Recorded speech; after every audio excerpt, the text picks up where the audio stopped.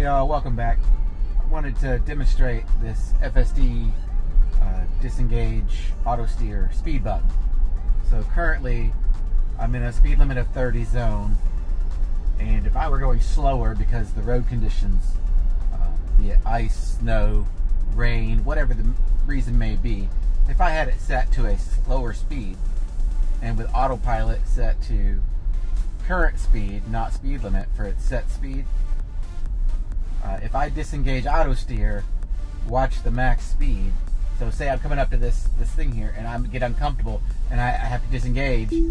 The speed limit jumps, speed limit settings jumps by itself up to the speed limit plus any offset. So I've got high water here. I'm like disengage, ah, and it just speed sped up instead of slowing down.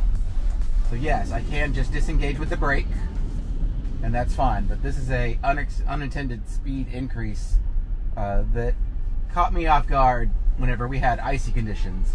I'd never noticed it before then. Uh, so I've been reporting it with every version since 10.8.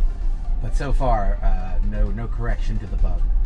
So one more time, if I if I engage auto steer on FSD, this only affects FSD, and I'm going say slower than the speed limit, and for any reason I disengage auto steer but keep traffic aware cruise control engaged, it will automatically jump the speed limit, speed setting up,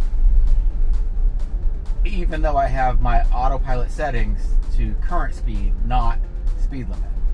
So in no world should it increase this to speed limit of 33 or 30 plus the offset. It should have kept my current speed in all scenarios. But it reset the speed, and on top of that, it ignored my settings as far as the set speed settings.